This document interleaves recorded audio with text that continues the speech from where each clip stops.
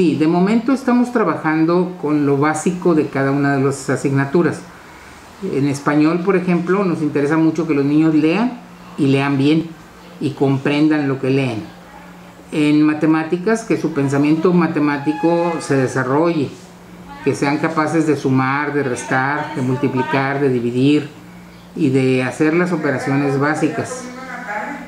Eh, estos dos eh, elementos o estas dos asignaturas, si las controlamos bien, nos van a ayudar mucho a que en las otras eh, asignaturas se facilite adquirir los conocimientos. Entonces, eh, en cada una de las asignaturas estamos viendo lo que es más importante para lograr que nuestros alumnos se nivelen en todos sus conocimientos.